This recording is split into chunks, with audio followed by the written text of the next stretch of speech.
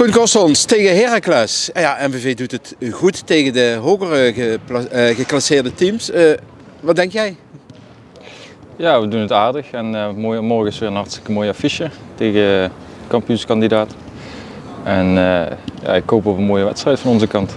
Ja, we zijn nog ongeslagen dit seizoen in de Geuselt. ik neem aan dat je dat door wilt trekken, die lijn.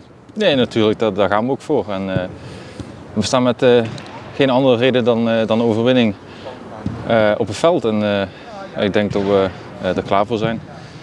En ik hoop dat we inderdaad die lijn kunnen doortrekken. Ja, even naar jezelf. Hoe gaat jouw seizoen tot nu toe? het gaat niet slecht. Ik ben wel tevreden over mijn bijdrage aan het team. Uh, qua statistiek had ik wel graag een aantal doelpunten meer willen maken. Had ook gekund. Dus in dat opzicht ben ik wel kritisch op mezelf. Maar ik denk dat ik niet mag klagen. En ik krijg veel vertrouwen van de trainers.